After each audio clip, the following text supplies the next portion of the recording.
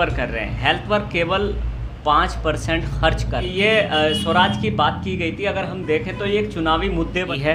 Hospital ये लोग बनाने को तैयार नहीं है। इस जोन में आता है और उनतीस जोन के अंदर साठ गवर्नमेंट स्कूल आते हैं। और साठ गवर्नमेंट स्कूल के अंदर जो उनतीस जोन में ओखला आता है जिसको सिर्फ़ और सिर्फ़ दो स्कूल दिए गए हैं। मतलब ये दोगला व्यवहार नहीं है तो क्या है? कैसे हमारे बच्चे आगे पढ़ेंगे? नहीं चाहती सरकार कि हमारे बच्चे आगे बढ़ें, ये सोतेलापन है, दोगलापन गया है। लेकिन पानी का मसला अगर है तो पानी के लिए बिल्कुल भी कोई मेहनत करने को तैयार नहीं, ना ही हमारे एमएलए साहब, ना काउंसलर साहब या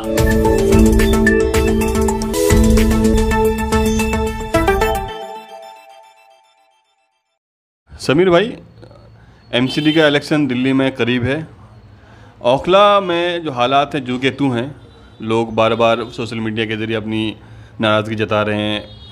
आपको क्या लगता है कि ओखला में क्या क्या चीज़ें होनी चाहिए क्या क्या हो रही हैं? और ख़ासकर दिल्ली में कैसे हम एमसीडी चुनाव को देखते हैं? हाँ, बहुत बहुत शुक्रिया शमसागा साहब और द कवरेज न्यूज़। आपने बहुत ही अच्छी बात के ऊपर आज एक डिस्कशन रखा है। दरअसल हम लोग देख रहे हैं ओखला विधानसभा के अंदर चुनावी सरगर्मियाँ चल रही हैं। और चाहे वो कोई भी पॉलिटिकल पार्टी के नुमाइंदे हों या सोशल एक्टिविस्ट जो खुद को कहलाते हैं, वो भी चुनावी मैदान में उतरने की पूरी प्लानिंग में लगे हुए हैं। अब मसला ये है कि इलाके को किस तरीके का नुमाइंदा चाहिए और इलाके, नुमाइंदे के साथों साथ उस नुमाइंदे ने क्या काम किया है इलाके के लिए? या इलाके में जो इस वक्त काउंसलर है या एमएलए है, उनकी क्या एक्टिविटीज़ रही है? असल नज़र डालना उन पर है। तो अगर हम बात करते हैं एमएलए की, अगर हम प्रशासन की बात करते हैं तो जो हमारा प्रशासन है, एसडीएम प्रशासन की तरफ़ से ओखला विधानसभा के लिए 4000 करोड़ का बजट पेश किया जाता है। और उस बजट के अंदर हम देखेंगे सबसे ज़्यादा जो खर्च होता है हमारी विधानसभा के अंदर, लगभग 18 परसेंट सिस्टम के ऊपर खर्च करते हैं। सिस्टम, यानी जिसमें ये होर्डिंग्स लगाते हैं, या अपने बड़े बड़े प्रोग्राम्स करते हैं। इसके अलावा अगर ये खर्च करते हैं तो एजु, एजुकेशन पर खर्च करते हैं। एजुकेशन पर कितना खर्च हो रहा है, हम लोग, आप लोग सब अच्छे से जानते हैं। अगर हम बात करें हेल्थ की तो जो एसडीएम के ज़रिए बिल पास होता है, उसमें सबसे कम खर्चा जो ये लोग कर रहे हैं, वो हेल्थ पर कर रहे हैं। हेल्थ पर केवल पाँच परसेंट खर्च कर रहे हैं।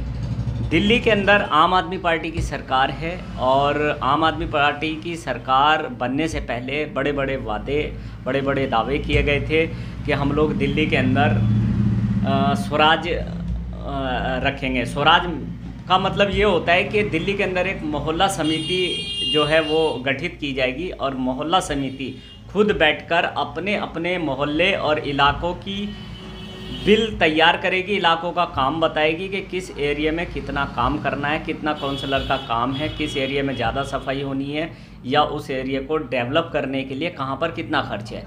यानी ये स्वराज की बात की गई थी।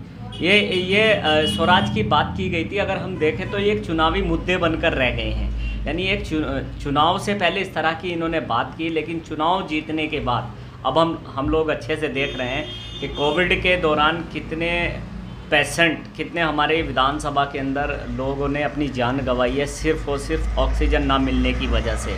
ये तो शुक्र रहा है कि हमारे इलाके के सोशल एक्टिविस्ट और अलग अलग ऑर्गेनाइजेशन के एक्टिविस्ट और कुछ पॉलिटिकल्स लोगों ने भी जो कोविड पेशेंट थे उन लोगों की घर घर जाकर राशन हो या ऑक्सीजन हो या दवाइयाँ हो, हर तरह से उनकी मदद की और उन लोगों को बचाया। तो ये एक बेहद अफसोसनाक बात है कि वादे क्या क्या किए गए थे और उसके बाद किस तरह से हेल्थ पर हमारे जो यहाँ के एमएलए हों या काउंसलर उन्होंने क्या काम किया? तो अभी एक हॉस्पिटल बनाने का बार बार मुतालबा हो रहा है। अब तक बनकर तैयार नहीं हुआ ना उसकी कोई अभी कोई ऐसी ऐसी उम्मीद भी है लग रहा है। जी। देखिए हॉस्पिटल बनने की हर बार जब जब चुनाव आते हैं चुनावी रणनीतियाँ लेकर लोग मैदानों में उतरे हैं, बातें करेंगे, बयानबाजी करेंगे कि हम लोग हॉस्पिटल बनवाएँगे और बना रहे हैं, जबकि ऐसा नहीं है। हॉस्पिटल ये लोग बनाने को तैयार नहीं हैं। हालात हमारे इलाके के बद से बदतर हैं। कोई भी सवाल करने को तैयार नहीं है। चुनावी मैदान में अगर मैं बात करूँ जो हमारे इतने सारे नुमाइंदे होर्डिंग्स पोस्टर के ज़रिए खुद को प्रमोट करने का काम कर रहे हैं, जिस तरह से स्वराज की बात अभी हमने आपसे बताई तो क्या जो हमारे दावेदार हैं इस वक्त काउंसलर के लिए। उन लोगों का सवाल नहीं बनता कि भाई आपने स्वराज की बात की थी, हमारे इलाके में क्या काम होना, नहीं होना है, वो सवाल करने को तैयार नहीं है। आप नाले रोड को देखेंगे, पार्क के नाम पर किस तरह से इसको अवैध निर्माण इसके ऊपर किया गया है और किस तरह से जहाँ जहाँ तक अपनी हमारे विधायक जी, हमारे काउंसलर जी की पकड़ है, वहाँ तक उसको हरियाली से पूरे को बना दिया। इसके आगे अगर हम जाएँगे तो हम क्या देखेंगे, उसमें उसको स्वर उसके अंदर घूमते हुए नज़र आते हैं। पार्क को पूरी तरह से स्वर के अंदर बदल दिया गया है। हमारे इलाके के लोग, लोगों के लिए डस्टबिन नहीं है। जो बात यहाँ पर की गई थी कि मोहल्ले के लोग तय करेंगे कि हम लोग यहाँ पर इलाके के लोगों के कहने से ही काम करेंगे। लेकिन मजबूर हैं।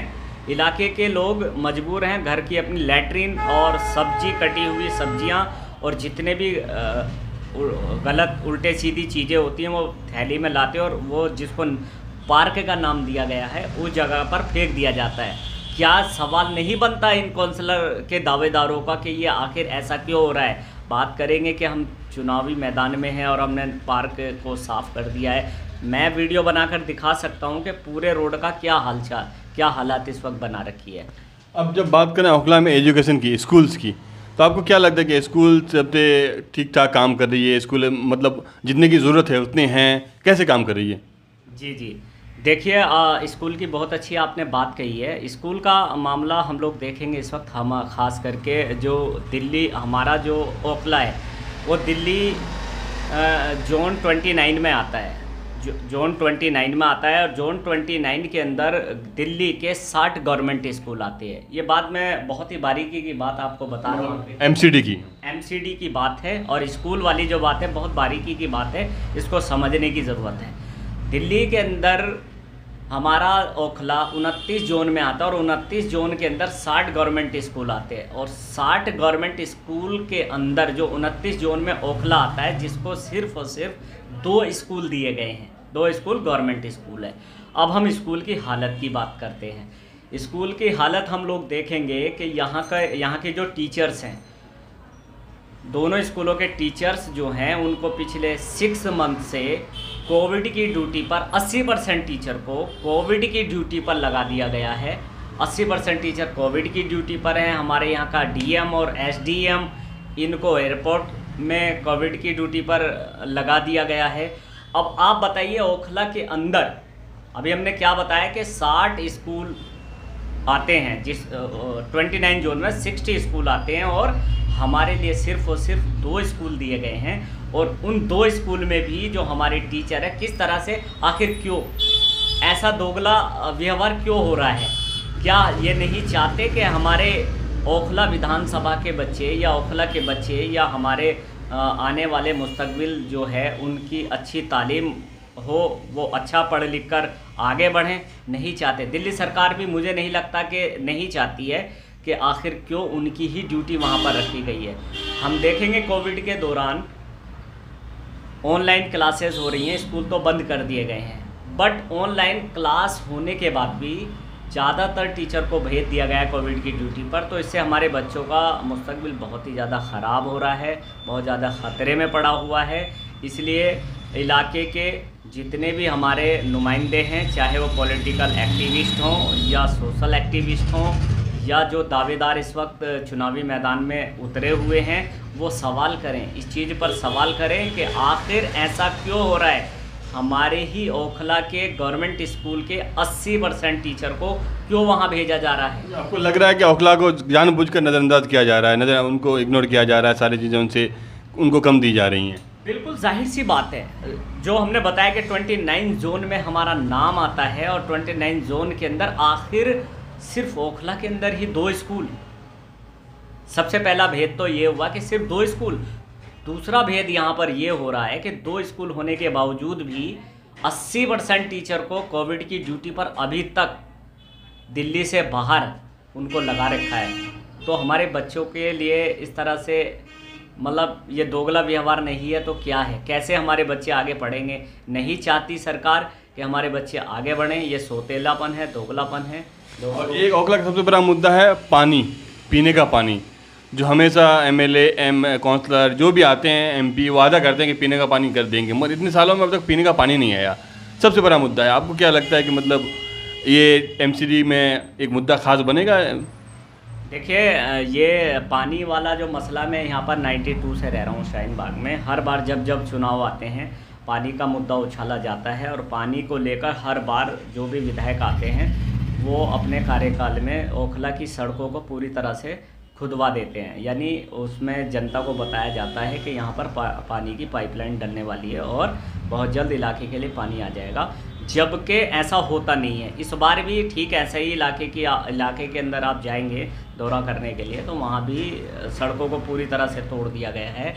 लेकिन पानी का मसला अगर है तो पानी के लिए बिल्कुल भी कोई मेहनत करने को तैयार नहीं, ना ही हमारे एमएलए साहब, ना काउंसलर साहब, या हमारे जो विपक्ष के लोग हैं यहाँ पर, जो अलग अलग एजेंडों को लेकर कभी जंतर मंतर पर जाते हैं, कभी चालीस फुटे से ओखला हेड तक जाते हैं, इस तरह के ये धरने करते हैं। सिर्फ़ क्या है कि पब्लिक में जाकर अपना फेस दिखाते हैं और बताते हैं कि आने वाले हम लोग इलाके के काउंसलर उम्मीद उम्मीदवार हैं। लेकिन असल मुद्दे जो इलाके के लिए होने चाहिए, हमारे मुद्दे असल होने चाहिए, एजुकेशन होनी चाहिए, हेल्थ होना चाहिए, स्कूल होना चाहिए, और जो गवर्नमेंट से ओखला विधानसभा के लिए बजट दिया जाता है उस बजट पर डिस्कशन होना चाहिए।